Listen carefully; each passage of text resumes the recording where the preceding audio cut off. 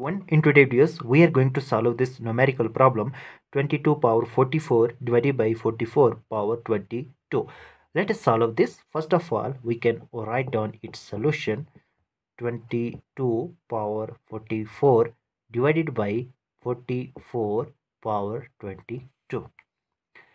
Now in the next step uh, we write down 22 power 44 divided by 44 can be written as 22 times 2 and power 22. Now, before moving to the next step, we know that a times b and whole power n and it is equal to a power n times b power n.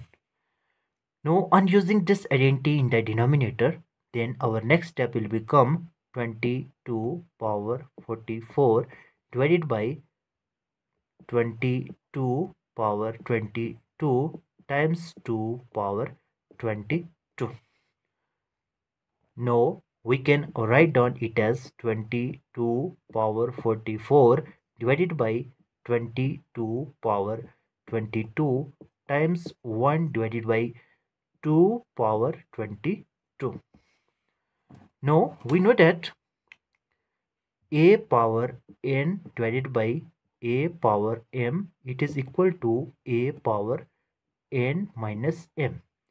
And here a is equal to 22 n is equal to 44 and m is equal to 22 now we can write down at 22 power 44 minus 22 times 1 divided by 2 power 22.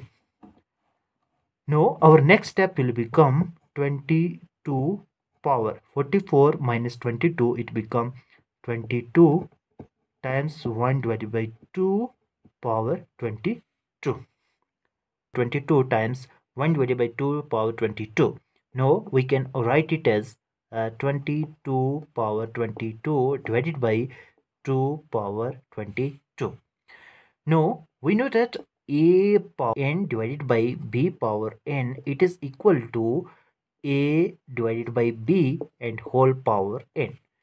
Here a equal to 22 b equal to 2 and n is equal to 22 thus our next step will become a. In place of a we put 22 and in place of b we put 2 and whole power n in place of n we put 22 now 2 times 11 it become 22 thus our resultant will become 11 power 22 this is our final answer. If you're new here make sure that you to subscribe our channel. For more informative video see you in the next video. Till then bye